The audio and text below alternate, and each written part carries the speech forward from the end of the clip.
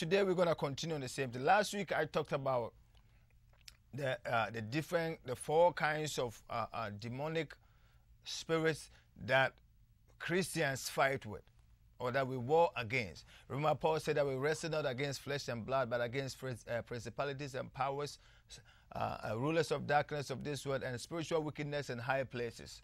And we analyze and we, you know, we identify all of them, starting from the principalities, you know, the powers, the rulers of darkness, and then the spiritual wickedness.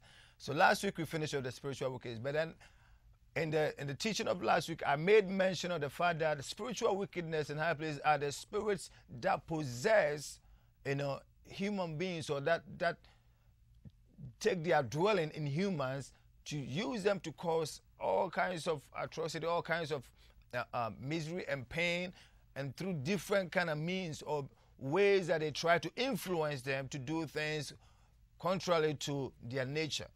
You know, so and I also made mention that there are 16 different uh, uh, spiritual wickedness or spirits that have been named in the Bible. So briefly, I'm just gonna run through them, call them by name. You know, time will not permit me to, I mean, to deal with each and every one of them individually, but by the leading of the Spirit, I've selected a third of them, about five of them that I'm gonna deal with today's sermon. But briefly, I'm gonna run through them. So when the Bible talks about spiritual wickedness in high places or spirits that possess men and women, and it is all through scripture. And right from the beginning in the Old Testament, these spirits were present, but we did not have knowledge of them until Jesus came and he revealed unto us what these spirits are. You know, and you realize that when Jesus made mention of some of these spirits, later on, Paul came and in his letters, he made mention of others that gave us more light as to who these spirits are and how to identify them and how to deal with them. So you realize that some of these spirits, they come, there's a strong man, as when Jesus said sometime, I think in the book of Luke, he said that when a strong man guards his house, his goods are safe. But when a stronger than he cometh, he overpowers him and take away the armor in which he trusted. So we realize that a strong man is the one that uh, possess or the spiritual wickedness are also known as what? Strong men as jesus called them. But then you saw you see that these strong men when they come they come with a bunch of them. They come with a bunch of, uh, of demons. So one strong man will have other demons underneath him or under his umbrella that works for him or work as tributaries or as accessories in that in, in, in, in that uh, um, spirit or in that function what they are performing. So let's look at some of these spirits here. The Bible makes mention of the spirit of error. It talks about the spirit of the Antichrist. It talks about the seducing spirits. It talks about the spirit of fear, the spirit of bondage, the spirit, uh, the spirit of infirmity, spirit of whoredoms, the spirit of heaviness, the spirit of haughtiness or pride. It talks about deaf and dumb spirit, the Bible talks about the perverse spirit, the lying spirit, the spirit of jealousy, the familiar spirit, and of course, spirit of divination. See, these are all different spirits that possess men.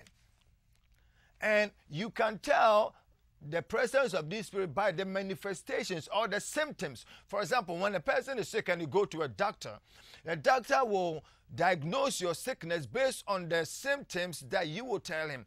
That you will tell him how you feeling. Say, oh, doctor, I'm having this severe pain, you know, in, in my head, you know, this headache, and and and uh, I'm, I'm vomiting, and I have a high temperature.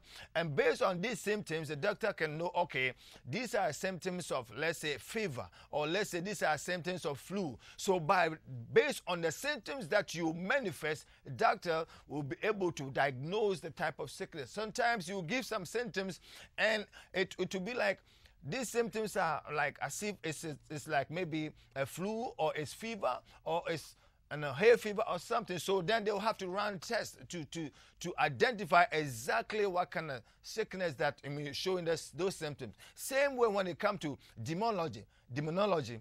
Demonology will also you'll be able to identify a spirit based on the symptoms or the manifestations that come out with him.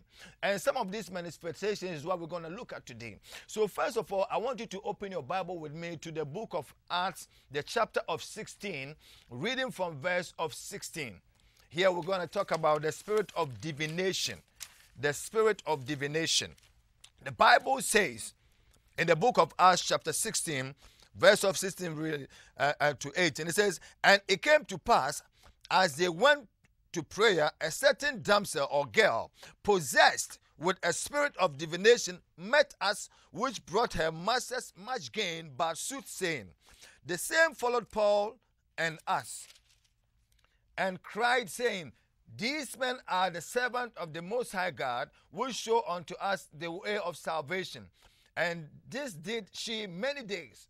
But Paul, being grieved, turned and said to the Spirit, I command thee in the name of Jesus Christ to come out of her. And he came out the same hour. You see, the scriptures here is telling us that Paul, you know, and his, his disciples were walking through a city, and there was this spirit or this girl who is possessed with the spirit of divination. And the girl was saying, Oh, these are the men of God who provides unto us the ways of salvation. You know, he was she wasn't uh, uh, making campaigning for them or popularizing or publicizing them. No, but because she was in the field or, or, or possessed by a spirit of divination, and what does the spirit of divination does? The spirit of divination, what it does is that it's an attempt, you know, uh, uh, to foretell the future or to discover hidden uh, uh, uh knowledge by means of occultism or spirit, by other spiritual means. That's what divination means. So, by this spirit, she was trying to foretell or tell things that are hidden, that are not known. So, don't underestimate that the enemy don't have power. The enemy has power, but his power is very limited. He doesn't know all things. All right? So, that's, you remember that Jesus said unto us that, Behold, I give unto you power to tread upon serpents and scorpions and over all the power of the enemy, and nothing shall by enemies hurt you. If you analyze that scripture uh, carefully, you realize that Jesus even acknowledged that the enemy has power. So here we see some of the manifestations of the enemy's power through what divination, by fortune telling. How do we find or see or, or, or realize the spirit of divination in our life these days? Spirit of divination manifests itself through like fortune telling, through card reading, palm reading, psychics, you know, they'll call you on the phone and say, okay, I can tell you something about your future. These are all a spirit of divination. And the most dangerous of all of them is what? The, the reading of horoscopes.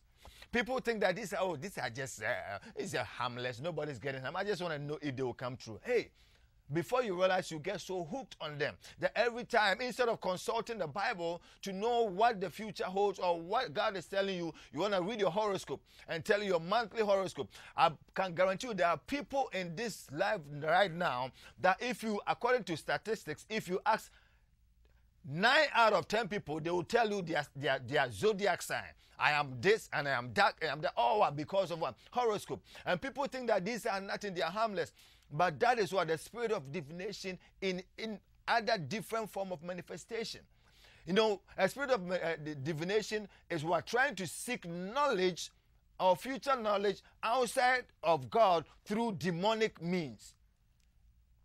That is what is known about spirit of divination. So when you go to a fortune teller, you are consulting the devil as what the spirit of divination in that person trying to tell you stuff. Then we'll move on to other stuff. Let's. I'm not going to stay too much on each one of these, so I'll just briefly talk about one and I'll move to the next. The next one I'm going to talk about that really deals with people in our lives is what the spirit of heaviness. The spirit of heaviness. Let's read a scripture from there from the book of Isaiah. The spirit of heaviness, the book of Isaiah uh, uh, no, but before I do that, listen, I want to show you something. You remember in the Bible, in the olden days, when uh, uh, Moses, God sent Moses and uh, Aaron to go into to Pharaoh to tell him to let the people go. I'm still talking of the spirit of divination. I'm going to go back now. So when they went, and they went to Pharaoh, and Pharaoh said, Who is this God that you said I, I should let the people go? And he say, David, uh, uh, Moses said, "Okay, I'm gonna show you a sign of this guy." So he, Moses put down the rod which Aaron had. Aaron put down his rod, and the rod turned into a snake. And right there and then, uh, uh, uh, uh, Pharaoh called his magicians, and they also did likewise. Where did they get the power from? The demonic power. But that's also the spirit of divination in operation. As a matter of fact, I want us to open the scripture and read quickly that scripture from the book of Exodus, the chapter of 7. There's something that I want you to know before we move on. Exodus chapter 7, reading from the verse of 7, uh, 11. And it reads, Then Pharaoh also called the wise men and the sorcerers.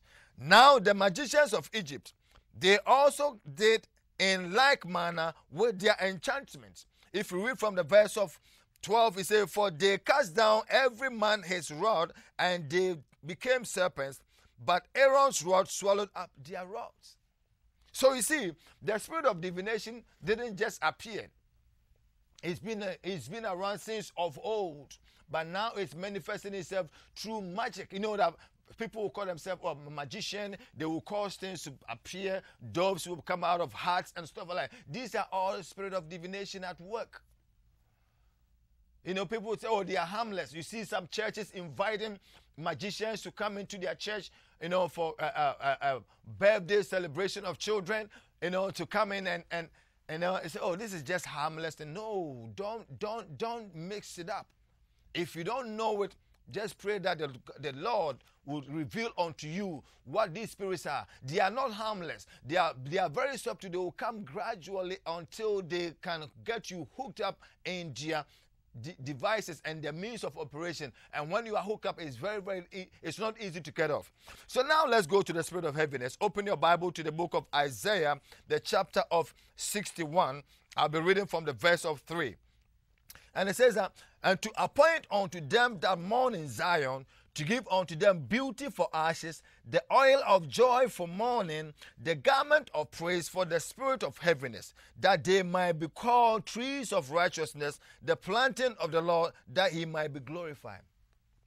Spirit of heaviness. Many a time, this spirit of heaviness will manifest itself in people wherever there's too much, I mean, there's excessive mourning, when there's grief, you know, the spirit of uh, heaviness will manifest itself through depression. Somebody will be so depressed that life becomes meaningless and they have all this kind of suicidal thoughts. They want to kill themselves. Oh, life is so repetitive. The same thing doing every day, every day. Wake up in the morning, go to work, finish work, come home, watch TV, following morning, go to work, finish work, come home, watch TV. So they say that life is like a, a, I mean, a, a, routine. They don't see nothing out of it. And out of boredom, depression will set in. People will have so much uh, uh, grief or mourning. They lose someone or a broken relationship and the, the, the, the, pain that will result out of the broken relationship will result in depression and they will isolate themselves. They don't want to be around nobody. That is the spirit of heaviness in operation. The spirit of heaviness will cause you to feel self-pity to have a pity party on yourself that you don't want to have do nothing to to to to lively up yourself. But the bible is telling us god will give you the spirit of praise in exchange for the spirit of heaviness. That when you feel like there's this heaviness in, in your spirit, you know, that can cause you de- to be depressed or, or, or to have all this kind of negative self pity and all of that, right there, just make up a decision, make up your mind to praise the Lord. So by so doing, that spirit will lift up of you. You say, I'm telling you this so that you'll be able to identify when these kind of spirits try to many, meander their way into your life. They will come through open doors that you open for them. You see, they will do things that will cause you to open the door so that they will have the access to come into you. So watch out for these things. It's okay to mourn, but when you mourn, have a time limit for it. Don't mourn for a year, for two years, and three years, and so on and so forth. That while so doing, you open yourself up for the spirit of heaviness to set in. So the spirit of heaviness manifests itself through what? A broken hearts, depression, sorrow, and grief, and suicidal thoughts, and all these things are symptoms or manifestations of the spirit of heaviness. Now let's move on. We're gonna go to the spirit of whoredoms. The spirit of whoredoms. The spirit of whoredoms talk about there's a scripture that we'll talk about. Let's open our Bibles to the book of Hosea, the chapter of 5, reading from verse 4. Hosea chapter 5, the verse of 4. And it reads, They will not frame their doings to turn unto their God, for the spirit of whoredoms is in the midst of them, and they have not known the Lord. Here, the prophet Hosea, God asked the prophet Hosea to marry to a prostitute. And Hosea was married to a prostitute, and God used that you know, as an example, as an analogy to prophesy to the children of Israel. That just like Hosea was feeling how his wife would go a whoring or going after other men, sleeping with other men, so God likened that to when men turn away from God to seek and worship other gods. So the spirit of whoredom simply means not just physically going to visiting a prostitute or, or, or, or sleeping with a prostitute per se, but worshiping other gods, serving other gods beside the real God that He has called us to serve Him. You see, so anything that will come as that will get your attention and cause you to, de- uh, to devote more attention to it other than God becomes an idol or idolatry. So that's a spirit of order and manifestation. There are people who have been so hooked up on their vehicles, they are so hooked up on, on, on, on, on television, on sports, that it is their God. Everything they do, that's all they want to think about. They don't want to go to church, they don't want to do nothing else. Nothing matters to them apart from what they are hooked up on. I remember there was this lady that I, used to work with back in uh, my uh, before some time ago, and this lady was so much. All she do, she talks about was her husband, and my husband this, and my husband that, my husband this. I say, my my sister, what is it? Everything is about your, your husband. I don't even hear you talk about nothing else about your husband. There's nothing wrong with loving your husband, but the Bible says love God first. There's God first, then your husband, then your, your, your ministry or anything else. So if you put your husband first before God, that becomes an idolatry. And guess what? This lady, by doing that, you know what happened? Her husband started seeing other women. And then she was so devastated. She came to me. She said, But my brother, you know what is happening? I suspect my husband is doing this. I said, Listen, whenever you place something before God, you make that person first before God, God will make sure He takes that thing away from you. But let me tell you something no matter what you do, you can't control your husband. But if you can console God or if you can seek God and let God control all things, the God who knows all things, He will be able to control and turn your husband heart to the way that it will be towards you. At first, he wasn't agreeing with me. So finally, she finally, I finally got through to her, and she accepted it. And guess what? We start praying and studying the Bible, putting God first in her life. Eventually, she and her husband ended up in the church. The husband's life turned completely around. That she, he doesn't hear nothing else but what their relationship for each other has been solidified because of their relationship with God. God has become their common, uh, uh, common means of bond by them, you know, for them. Their love for God has become the, uh, the binding force that has kept them together up till today. So what am I saying? Anything that you will try to, to, to place ahead of God, that will take your attention more than the attention that you're supposed to give to God will become what? A, a, an idolatry whereby it is a manifestation of what the spirit of whoredom. Some people, their cars are their idols. You see them early in the morning. Wake up, the first thing they do, they go by their car. You see them dusting it up, you know, just wiping it, you know, cleaning the tires and the rims and everything. That's all they think about. They sleep at night and they will peep in the, through the window just looking at, oh, if the car is okay, if anybody is coming around. They can't even sleep. They wake up first thing, they don't, they don't have anywhere to go, but they have to go and sit in the car. Why? Because the car has become their idol. You know, they're worshiping that more or less. But you don't, it, becomes so subtle, you don't see it like that because you say, oh, nah, this is nothing. But then it's taking your attention away from God and placing it somewhere else. There are people when there's a, a, a sports game or a sports uh, a tournament going on, they won't even go to church won't do nothing else. They'll be glued to the TV. You know, I'm not saying that TV is not good, but anything, as I'm saying, anything that can take your attention off God and cause you to depend solely on it, like with your whole life revolves around it, becomes an, an idol to you. And that's what the spirit of God, that's an idolatry. So these are some things that you should know that whenever you see these things happening in your life, just flee away from it. Just stay away from it and know that nothing can take the place of God. If anything takes the place of God, it becomes an idol in your life, and that's what the spirit of uh, in operation. The next one I'm going to talk about is the spirit of bondage. The spirit of bondage. The spirit of bondage. The spirit of bondage, you saw, you will see that scripture in the book of Romans, Romans chapter of 8, the verse of 15. Romans chapter 8, the verse of 15. And it reads, For we have not received the spirit of bondage again to fear, but we have received the spirit of adoption, whereby we cry, Abba, Father. We have not received the spirit of uh, bondage again to fear, but we have received the spirit of adoption, whereby we cry, Abba, Father. So here, the Bible is talking about the spirit of bondage, which works very closely with the spirit of fear.